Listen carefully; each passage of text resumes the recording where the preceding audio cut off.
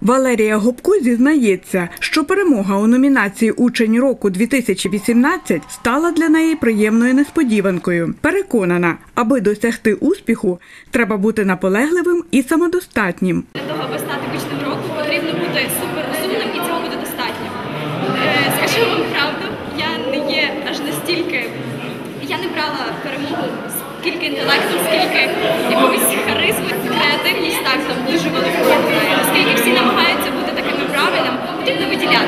Торік переможцем конкурсу став вихованець школи колегіуму патріарха Йосифа Сліпого Максим Мохов. Цьогоріч він за традицією посів місце члена журі. каже, конкурс дає можливість кожному довести, що він найкращий. Це справді неймовірна можливість для школярів міста Тернополя проявити себе і показати, що вони є найкращими. Я йшов, йшов для того, щоб перемогти, і мені це вдалося. І перш за все необхідно володіти лідерськими якостями, інтелектом та вмінням гарно себе презентувати. Організатор конкурсу Тетяна Нюня розповідає, переможці минулих років продовжують реалізовувати свої інтелектуальні та лідерські здібності вже за межами шкіл і досягають неабияких успіхів. Їх фіксуватимуть у своєрідній книзі пам'яті.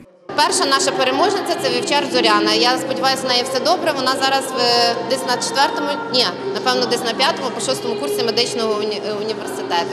Є Горбатюк Андрій, який зараз відомий як Лучанко Андрій, переможець конкурсу Голос діти. Є в нас е, Святослав Маринін, е, який е, зараз навчається в КПІ. Він активно продовжує свою громадську діяльність. Серед цьогорічних переможців відзначилися також учениця загальноосвітньої школи ліцею номер 15 Софія Брощак, яка стала кращою у номінації Інтелект року, та лідер року Сергій Волошин, вихованець школи колегіуму патріарха Йосифа Сліпого.